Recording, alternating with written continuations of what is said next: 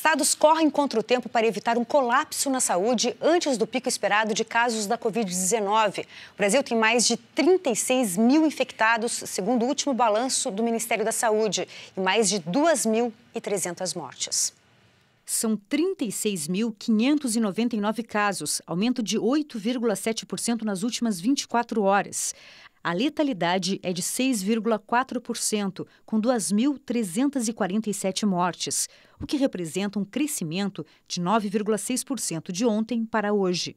A região Sudeste tem 5 em cada 10 casos da Covid-19 no país. São Paulo soma 13.894 e o Rio, 4.543. Na região Nordeste, os estados com mais infectados são o Ceará e Pernambuco. Na região norte, o Amazonas tem mais de 1.800 casos. Esses cinco estados registram o maior número de mortes. Em Manaus, o segundo hospital de referência para tratamento de pacientes da Covid-19 começou a funcionar hoje.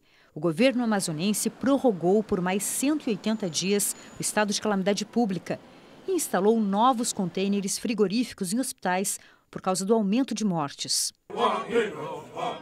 No Parque Indígena do Xingu, os índios fecharam as estradas para tentar evitar a disseminação da Covid-19.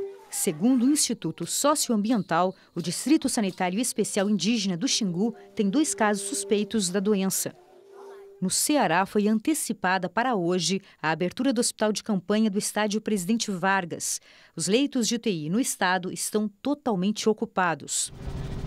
No Rio de Janeiro, a Defensoria Pública e o Ministério Público entraram com ação coletiva para que o Estado tome medidas de emergência, já que mais de 90% dos leitos de UTI estão ocupados.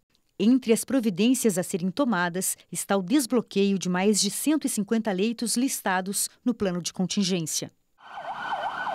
Em São Paulo, onde há o maior número de casos e mortes pela Covid-19, chegaram nesta madrugada no aeroporto de Viracopos 575 mil testes para a doença.